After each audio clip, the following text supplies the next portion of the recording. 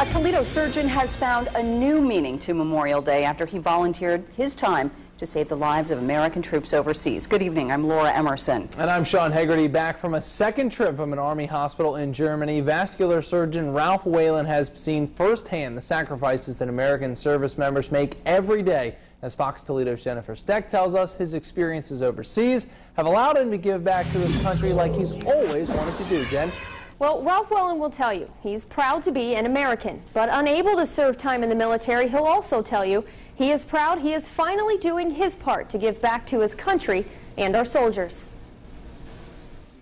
Vascular surgeon Ralph Whalen has seen his fair share of severe injuries working at the Jobst Vascular Institute in Toledo, but nothing could have prepared him for what he would see as a volunteer at the U.S. Army's Landstuhl Hospital in Germany.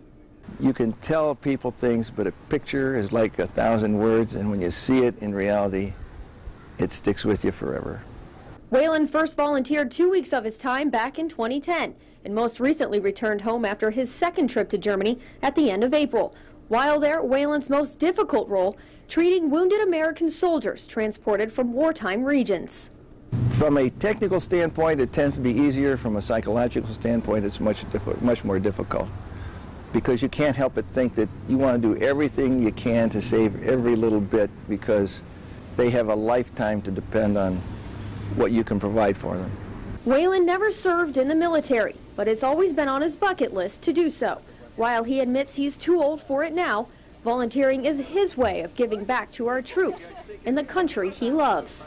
And I fly that flag and I light it at night every day. And I'm thanking God that I live here. And now I thank God for all of those soldiers who allow me to have the right to fly that flag. And that's why I go there. Whalen is set to make a third trip to Germany in May of next year, a trip he hopes won't be his last. Well, Dr. Whalen told me there's a lot that goes into being allowed to volunteer, but as long as he meets all the requirements, he will gladly spend his time helping our troops for as long as he can. Reporting live tonight, Jennifer Steck, Fox Toledo News.